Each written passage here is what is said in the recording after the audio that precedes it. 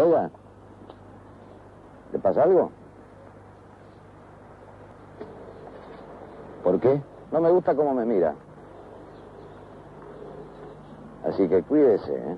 ¿Y de qué cuidarme? De lo que anda diciendo. No me gusta que hablen a mis espaldas. Si tiene algo que decirme, me lo dice de frente. Muy bien. Ya que me lo pedí.